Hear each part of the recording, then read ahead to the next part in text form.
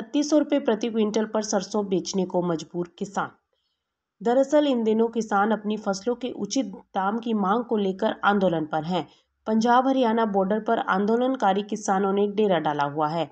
उनकी प्रमुख मांग ये है कि किसानों को न्यूनतम समर्थन मूल्य यानी एमएसपी मिलने की गारंटी मिले। यानी किसी भी किसान को कहीं भी उसकी उपज की कीमत एमएसपी से कम ना मिले, चाहे उसे सरकार खरीद रही हो या फिर व्यापारी। लेकिन ताज्जुब की बात यह है कि आंदोलन चलने के बावजूद किसानों को उनकी फ़सलों का सही दाम नहीं मिल रहा खास तौर पर तिलहन फ़सलों का। केंद्र सरकार के ऑनलाइन मंडी प्लेटफॉर्म ई नाम पर एमएसपी से काफ़ी कम भाव पर सरसों की ट्रेडिंग हो रही है। ई नाम के मुताबिक हरियाणा के कुरुक्षेत्र ज़िले में आने वाली शाहबाद मंडी में पाँच मार्च को सरसों का न्यूनतम दाम सिर्फ़ अठतीस सौ रुपये प्रति क्विंटल रहा, जबकि एमएसपी साढ़े छप्पन सौ रुपये प्रति क्विंटल है, यानी साढ़े अठारह सौ रुपये प्रति क्विंटल के घाटे पर फ़सल बेची जा रही है, जबकि एमएसपी न्यूनतम दाम होता है, इसके नीचे मूल्य जाने पर किसान को घाटा होगा। इसी मंडी में औसत दाम पाँच हज़ार तो अधिकतम दाम पाँच हज़ार चार सौ निन्यानवे रुपये रहा, यानी अधिकतम दाम भी एमएसपी के स्तर को नहीं छू पाया। इसी तरह हरियाणा की ही लाडवा मंडी में सरसों का न्यूनतम दाम सिर्फ़ अठतीस सौ दस रुपये प्रति क्विंटल देखने को मिला, जबकि थानेसर मंडी में अठतीस सौ इकतीस रुपये न्यूनतम भाव रहा।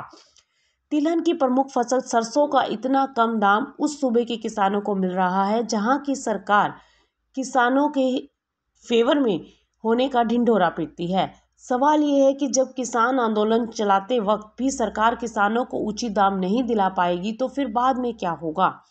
किसान इसीलिए तो चाहते हैं कि उन्हें एमएसपी की गारंटी मिले, ताकि उन्हें कम दाम के शोषण से मुक्ति मिले। यही हाल महाराष्ट्र में सोयाबीन का भी है।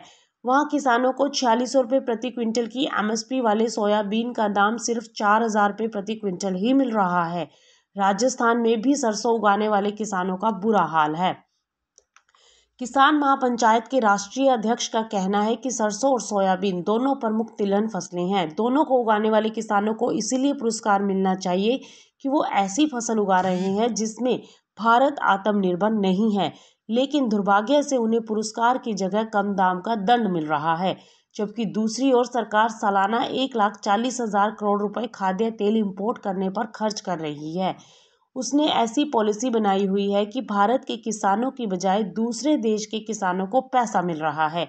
किसान यही सवाल पूछ रहे हैं कि आखिर भारत के किसानों ने ऐसा क्या गुनाह किया है कि उन्हें सरकार तिलहन की फ़सल उगाने के बावजूद सही दाम नहीं दिला पा रही और जो उनका हक बनता है, वह दूसरे देशों के किसानों को खुशी खुशी दिया जा रहा है। Bureau report, Market Times TV.